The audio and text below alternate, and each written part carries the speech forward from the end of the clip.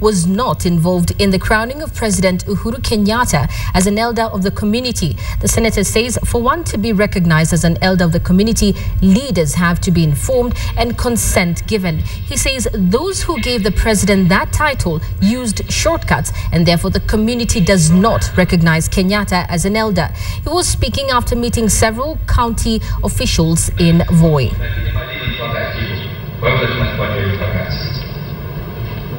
Kuwa crowned kuwa Mtaita, alikuwa crowned kama leader wa Jubilee,